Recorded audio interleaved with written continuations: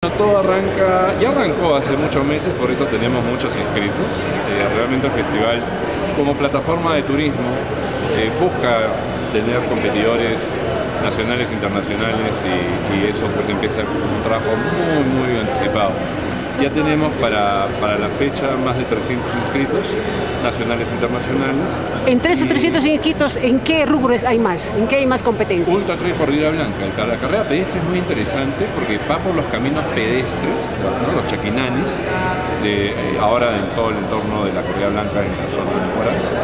Este, pero pues solo necesitas una zapatilla para poder meterte a esta disciplina, ¿no? Y, y, este, y es muy eh, armónica, holística, entonces tiene muchos participantes, tenemos más de 15 países, eh, nacionalidades viniendo a competir.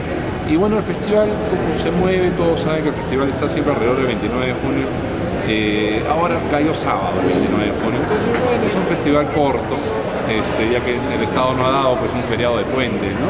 pero estamos acomodando muy bien. El programa va de la siguiente manera.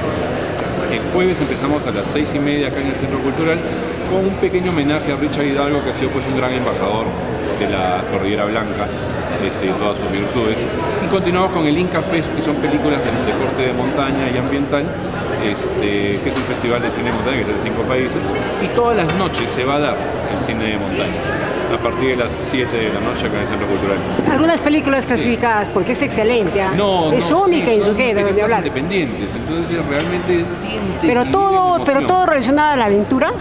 Todo relacionado a la aventura y corte ambiental también, temas cambios climáticos. Ahora, Bequelo, es importante, por ejemplo, aprovechar esa, esas carreras pedestres que se van a dar por el interior para quizás también llevar mensajes de la conservación del medio ambiente, eh, el no sí. uso del plástico. ¿A, esa, a ese claro, proyecto se ha proyectado eh, eso? Trabajamos de la mano con el Parque Nacional Huascarán, que pone estándares. Eh, son dos líneas que comulgan muy bien. El Parque Nacional Huascarán pone estándares ambientales, entonces no se puede dejar ningún rastro post carrera. Tampoco podemos utilizar elementos de marcaje que contaminen. Entonces se usan cintas donde se, colocan y se retiran y se reusan en la siguiente edición. Eh, y además los deportistas que van a la montaña son deportistas con corte ambiental, son muy educados porque esa es su cancha de juego, ¿no? esa es su cancha de entrenamiento. Así que eh, realmente ¿Está asegurado el tema ambiental está asegurado y siempre hay un control post evento, inclusive en el concierto donde hay desbande uh -huh. y siempre pues se dejan las botellas. ¿Qué es cierto ahí, que es lo que te han querido imponer el famoso concierto de rock en los Andes? ¿Qué es cierto ahí? Sí, bueno, eh, eh, realmente está bien que hayan más actividades y siempre lo digo, deben haber más actividades, pero no en la misma fecha.